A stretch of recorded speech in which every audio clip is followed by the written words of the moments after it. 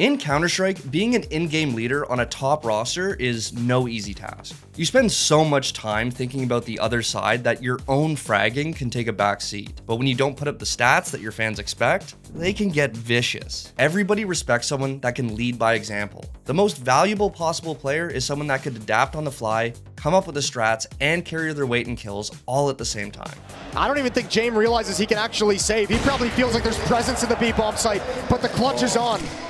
Oh, that smoke, it catches the rail, and that's a little bit unfortunate. Otherwise, maybe he's going to try to put some pressure. He's still going to go for it. He picks up that one. No! Oh, no! Out of this world! Game! Every team wants an IGL that can frag. But there's only so many seasoned veterans with cracked aim and beautiful minds to go around, so some teams need to get creative. HooXi plays far away, uh, plays deep in the pit. NiKo far away. Is he gonna he's gonna flash HooXi into T-Sport. No, as Watch if. this. As if. Hang on a moment. Oh, they're bringing out the big guns. Yeah. They've deployed their secret weapon. HooXi running through the long doors with a flash from NiKo to set him up. Enter Rasmus HooXi Nielsen, a man who by all accounts is not the mythical fragger IGL. Surprised production didn't bring up his ADR there. Savage production. there All right, there it is. Oh my oh, god, no. why? why?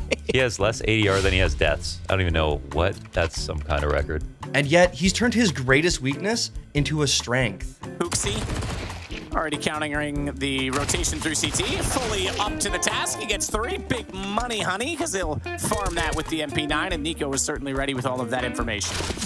Mighty stuff there. Yeah, you're right, money. HooXi he doesn't need a drop. He can buy his own M4. He's an independent man. Over the past few months, the CSGO community has witnessed the rise of one of the greatest memes in the game's history, all thanks to HooXi and his performance on G2. Now having to save is Krimbo. That's actually a TK. HooXi, that's the worst possible oh, solution oh, no. here. Now it's going to be m0NESY. He's going to have to just try and stick Not to the like fuse. this. Krimbo found the other kill. It's all falling apart here. G2 No, have had a no classic. G2 moment. Add that one to the catalog. and I think we're going to call Vertigo done and dusted 13 to 6. The morale is broken now. As the team's latest IGL, he pushed the limits of what a leader's stats should look like, while also pushing his team and himself in ways that no one expected. HooXi knew that his stats weren't great, but he looked all of his haters in the eyes and said, we'll win anyway. Seriously can smoke the bomb here. They got a molly for Sandbag as well. If they piece this one together, it, it could be perfect. There's the molly. That's one of the high HP Yes, player. Pete. m0NESY stepped out. Now it's the low HP of HooXi and JKS. These two, they did it before, but they have to do it again. Well, luckily for them, there is an AWP in the mix as well. They might not have the information these players are both desperately low. Time ticking away though, and JKS probably needs to strike before the bomb is touched here. Low HP on the diffuser, Oh, but he can't no. find it. He takes down the diffuser that cancels it. Can he spray again? Yes, he absolutely can. HooXi with the quad kill. Yeah, they're trying HooXi though.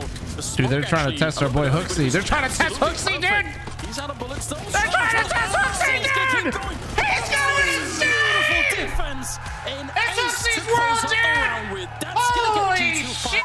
So, how did HooXi change the narrative around his subpar stats? How did he show the true value of an IGL while spending so much time at the bottom of the server? And how did he embrace CSGO's latest and greatest meme to become the Giga Chad? A poem about HooXi. Who right. is HooXi? For the blind, he is the vision. For the hungry, he is the chef. For the thirsty, he is the water. If HooXi thinks, I agree. If HooXi speaks, I'm listening. If HooXi has one fan, it's me. If HooXi has no fans, I don't exist at all. Oh, I've got goosebumps, Chad. That was beautiful.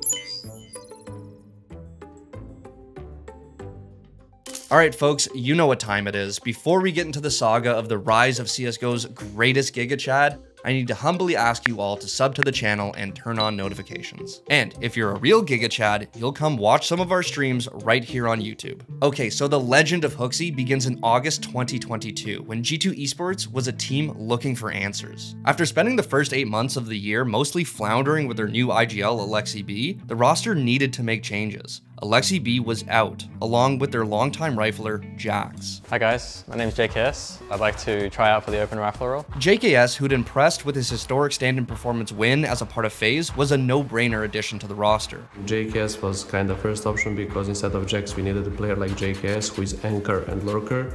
We didn't almost looking for any other player. But G2 needed two new players, and the other name is not what anyone expected. Uh, my name is HooXi and Who? I'm HooXi. I'm applying for the IGL role. Well, what makes you think he would be better IGL than me? I can Shut the f up, NiKo. You're hired. HooXi was a big question mark for G2. On one hand, he led his previous team, Copenhagen Flames, to two majors, even making the playoffs in Antwerp. 30 seconds left for an impeccable clutch. Zyphon's down on top, but there it is! Finally! The fifth time's the charm! The Copenhagen Flames, they lift the curse! They shed their demons and burn brighter than ever before! Playoffs in Antwerp! Yeah, we're gonna see the Flames in front of a crowd, and they do it. On the other hand, though, there were still plenty of unknowns.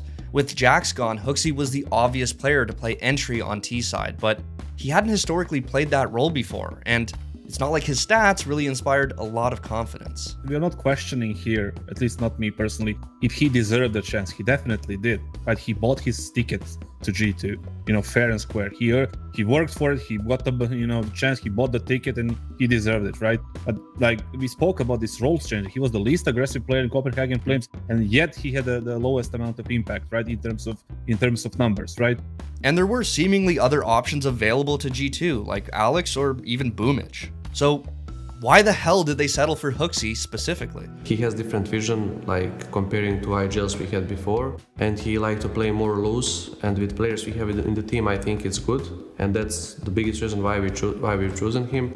And he is not scared to tell to anyone like whatever in the in the eye after practice after game and i think we needed this kind of igl what i do is i grab and i compare this to the in-game leaders around him uh, or the, sorry, the in-game leaders who have either come or gone, or the other ones who are rumored. And I go, well, none of the names that people can list have achieved as much as HooXi as an in-game leader in the last six to eight months. Ultimately, HooXi's pedigree convinced G2 to take a shot on him. After all, his low stats are pretty common with IGLs. You don't have to kill if you can lead. And G2's coach, XTQZZZ, actually vouched for HooXi in an interview with HLTV, where he said that he and the team's new IGL were on the same page. But fans weren't convinced. They started picking on HooXi's subpar stats immediately, and things only got worse when he finally debuted for G2 during the BLAST Fall Premier. His third headshot of the round, but his first kill. Let's go, HooXi. Oh, it's a little messy. To put it simply, HooXi underperformed. Even in games where they won, Buddy was going like 3 and 16 where his teammates were dropping 30 bombs. HooXi's performances were so brutal that it eventually spawned a meme. Whenever HooXi did anything, die, get a kill, breathe in the direction of an enemy, Twitch chat spammed the Giga Chad emote. NiKo and m0NESY spring to life and through the smoke, there it is. As Dosse dead through the back of the head and the headshots are going to keep coming. The disrespect out the gate, Henry. We saw FaZe attempt this, if you remember, pushing down towards middle, uh, trying to disrespect their opponents. Didn't work out for them too well, but it's actually working out very nicely for G2. I say that with bated breath. Okay. As we are seeing headshots galore here towards a banana. rock Rock'em sock'em Counter-Strike here, but Hunter will come out on top. He will manage to get three kills in total. A little bit bumpy towards the end, but a clean round, I suppose. If you're not familiar with the Giga Chad meme, it's based on a picture of Russian bodybuilder Ernest Khalimov, and its many variations are pretty widespread now. The idea behind the meme is that, as a perfect specimen of masculinity, the Giga Chad is confident that every option they choose is the correct one. Obviously. And HooXi was CSGO's Giga Chad. dupreeh's honing in closer. Flash on the feet of HooXi. Goes for the m0NESY fight. Insta dink. Sets up HooXi. Oh, he can't get the kill. ZywOo glocks him in the face. Despite his clear underperformance, G2 added fuel to the meme fire, using a quote from an HLTV interview HooXi had done days earlier. Although there were already people who felt that the org was going a bit too hard on their new IGL. So HooXi's play basically became a joke. HooXi for me is the best player in the world right now. I don't want to anti- to jinx anything. We've tried that in, in Astralis when we uh, were playing in Cologne against Navi with, with Zeus. And I think it was the second time in his career that he ever got 30 kills because we were trying to exploit him. So never again. So uh, HooXi is the best player in the world right now, and uh, we'll try everything to avoid him. In fact, you couldn't even go on the Global Offensive subreddit without seeing at least a single thread talking about his low stats. And even his most modest plays continued to be met with cries of Giga Chad. But to be fair, HooXi's comment about not needing to frag wasn't necessarily wrong. See, the meme in the community is that NiKo kind of usurps his IGLs. Whether it's true or not, the fans have often felt that he does best with a firmer hand on the server. Between NiKo and m0NESY alone, G2 already had a lot of firepower. If HooXi could just make sure that everyone got what they needed and maybe pick up a few scraps of glory here and there, it could probably still work out. And at this first event, it kind of did. Unfortunately for them, The Blast season doesn't get any easier once they get there.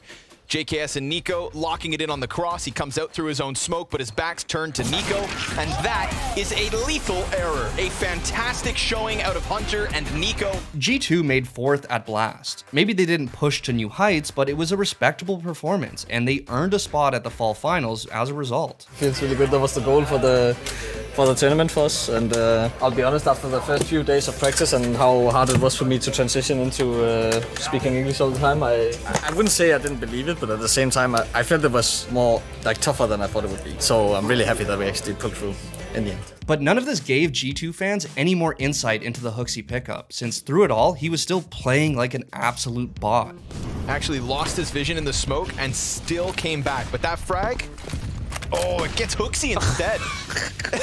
Poor guy.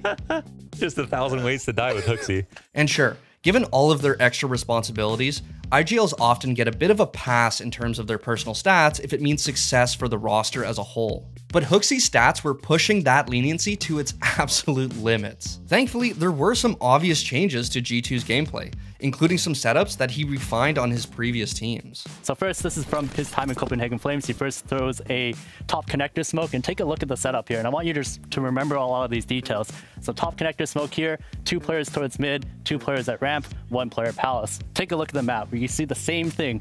Two players here towards this mid position, two players at ramp, one at palace. This is definitely going to be an A split once again. And the details are very similar. You'll see the pathing here, same thing. One player towards the bottom side of middle, one player going along this catwalk side. And then Hunter, he's going to do that peek towards that connector side.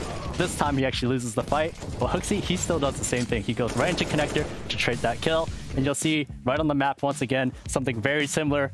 Pressure here towards this connector side, towards A. It's now down to these players at A to put pressure into A now.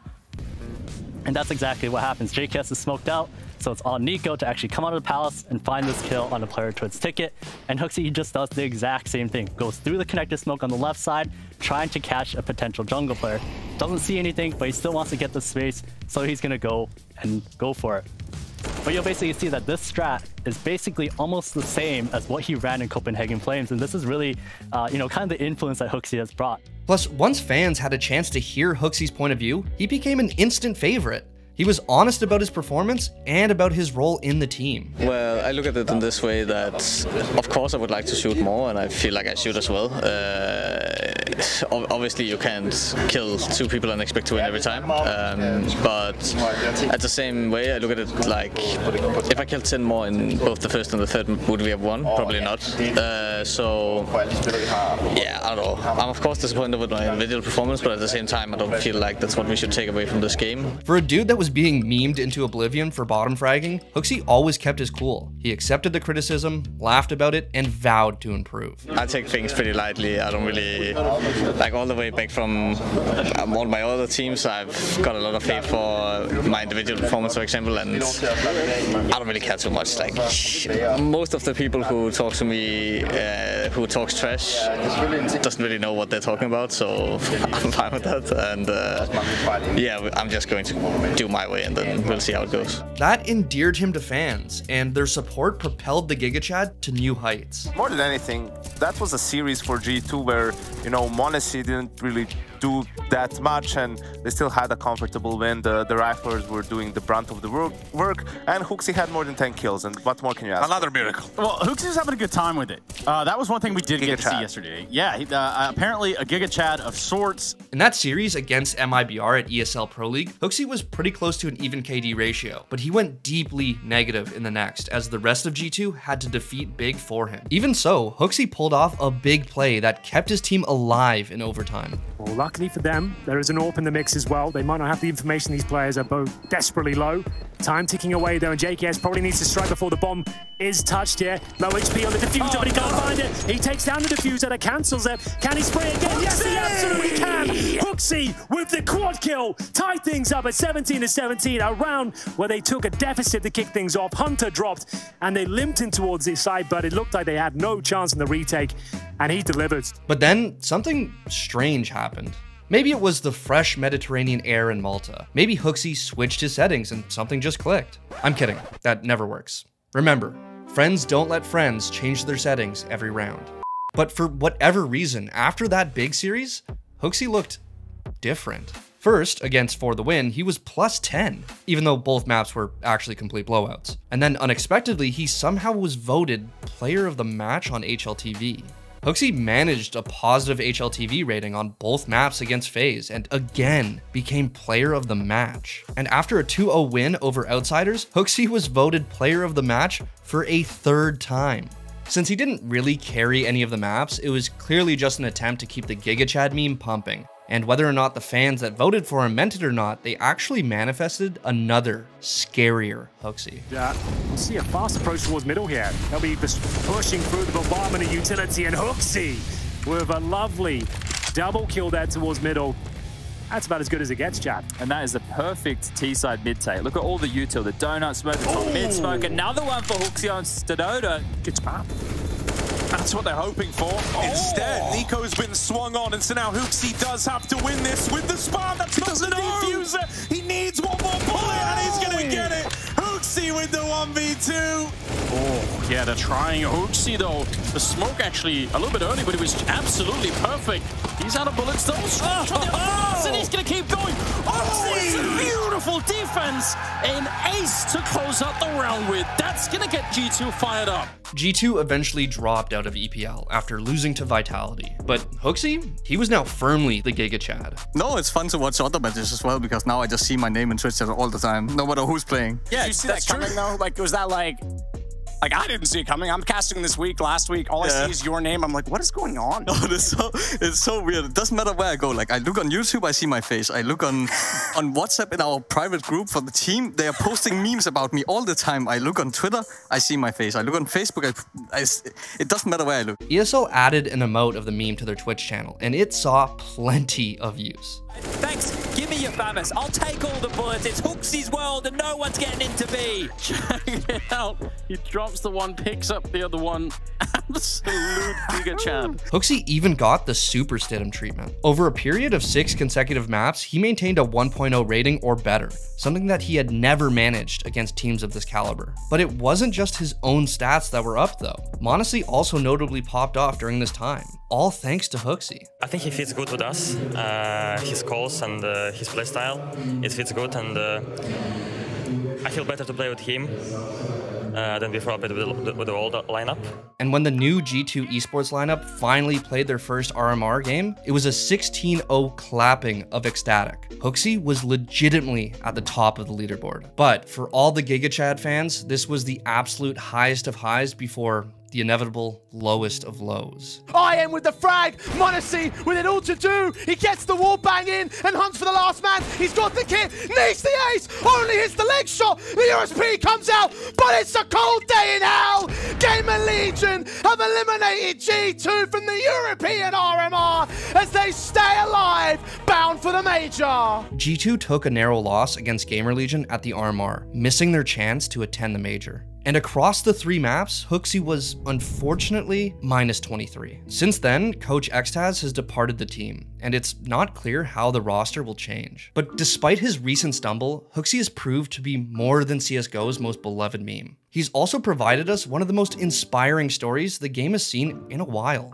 HooXi ascended from ridicule to reverence. He didn't need to frag to win, and he was brave enough to say that out loud. But then, he fragged anyways quickly into this B site again. Last time it did work out. This time, HooXi delivers two quick kills as they try to get beyond that van. So things to an immediate halt. HooXi goes ahead, body bags a third, and then further damage onto headtr1ck. Hunter getting closer and closer, can't manage to put down SDY, but now there's so much support here that it should be G2 to just smooth oh! finish it off. And how about a HooXi ace to end the first 15? On a more serious note, it is clear why fans were so swept away by HooXi Mania. He just kept it real. So whenever he pulled a rabbit out of his hat or put up a decent rating, we knew that HooXi's excitement was real too. HooXi is a reminder that every player, even a 27 year old IGL leading two of the hottest stars in the game right now, can find ways to improve. And when they do,